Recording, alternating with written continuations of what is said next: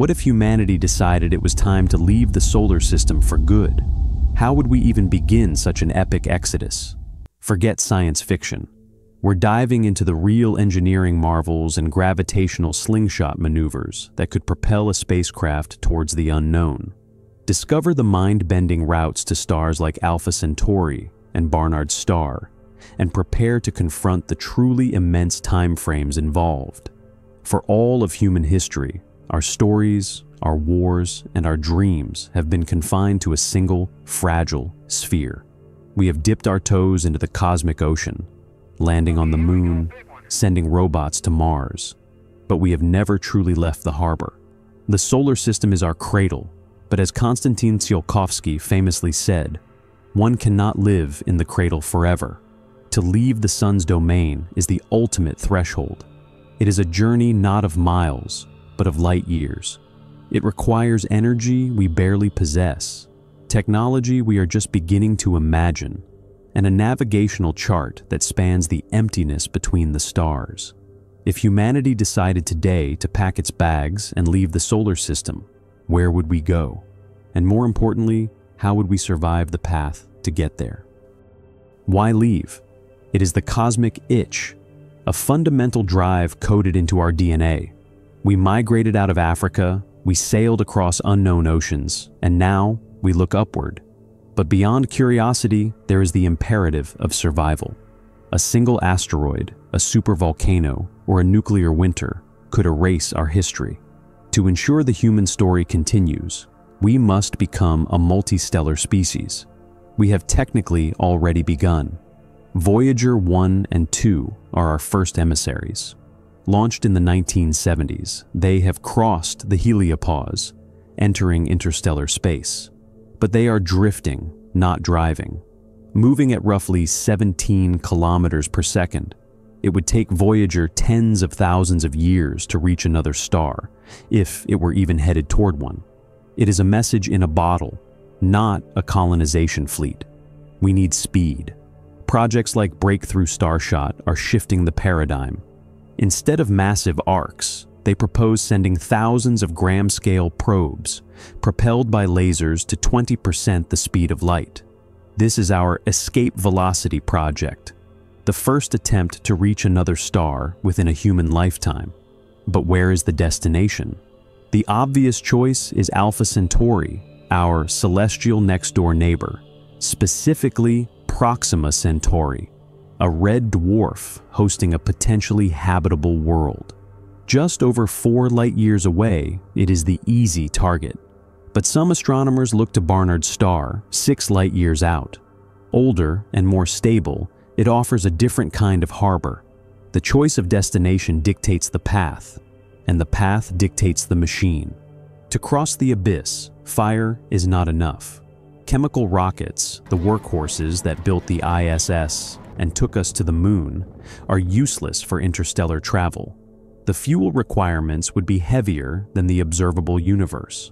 To go to the stars, we must harness the power of the atom. The immediate next step is nuclear propulsion. Nuclear thermal rockets, use a fission reactor to superheat hydrogen, expelling it at incredible speeds. It doubles the efficiency of chemical rockets. But even more ambitious is the concept of nuclear pulse propulsion, the Project Orion idea. Imagine a ship that rides the shockwaves of atomic bombs detonated behind it. Brutal? Yes. Effective? Incredibly. It is one of the few technologies we could build today that could get a massive crewed ship to a fraction of light speed. For those who prefer elegance over brute force, there are ion drives and solar sails. Ion drives provide a gentle, constant push. Over days, they do little. Over a century, they can build up tremendous velocity. Solar sails, or more likely, light sails pushed by Earth-based lasers, offer a way to leave the fuel behind entirely. By riding a beam of light, a vessel could theoretically reach relativistic speeds, turning a thousand-year journey into a 40-year trip. And then there is the frontier of physics, antimatter engines, the holy grail of energy density.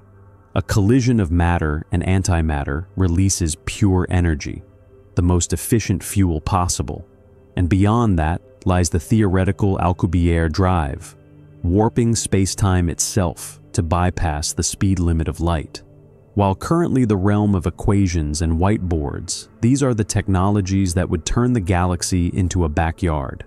Even with advanced engines, a smart traveler uses the terrain. In space, gravity is the terrain. We call it the gravitational slingshot. This is planetary billiards. Voyager used Jupiter and Saturn to steal momentum, flinging itself out of the solar system.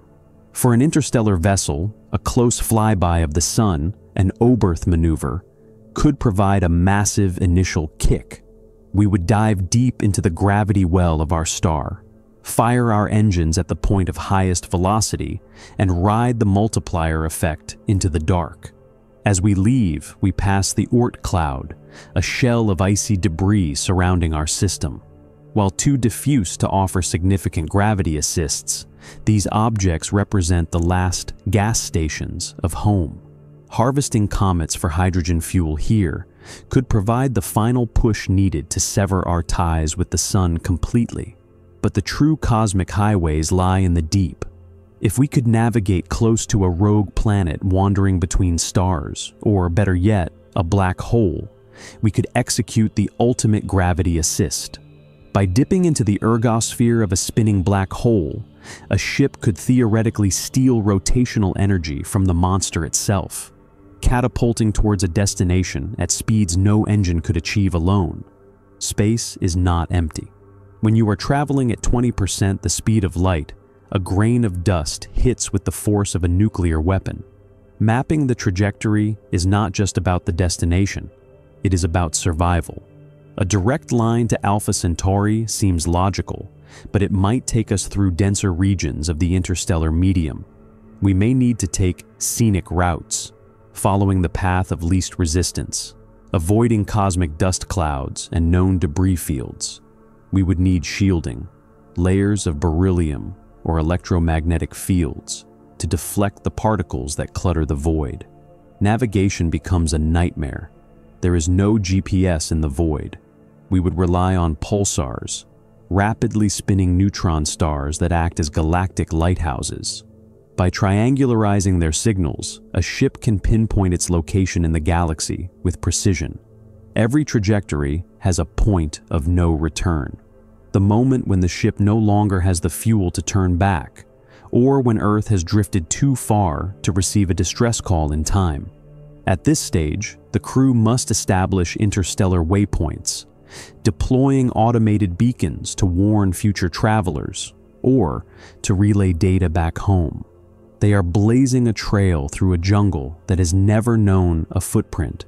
The greatest challenge of leaving the solar system is not the rocket science, it is the human element.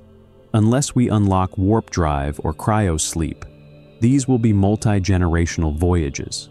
The people who launch the ship will not be the ones to arrive. They will live age, and die in the void, passing the torch to their children and their children's children.